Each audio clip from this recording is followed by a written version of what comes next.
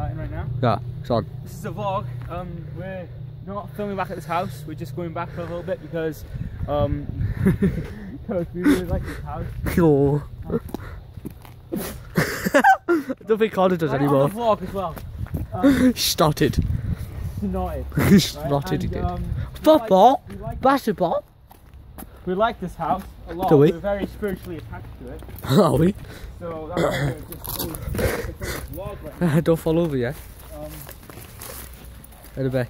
on a North Face cap. I thought you said a knob there. I thought, what? If you want to have it, you can have it, you. Might be on a, on a demon's head, but What? it's not attachment, it needs to fail. Okay. Ah, we're back in the house. Can you see me? Yeah. Um, Uh, check I- this area out right here. This area. I'm a sneeze. I'm a sneeze. I'm a sneeze. Just stay right there. I know why we all sneezing all of a sudden. This was an area that was burnt.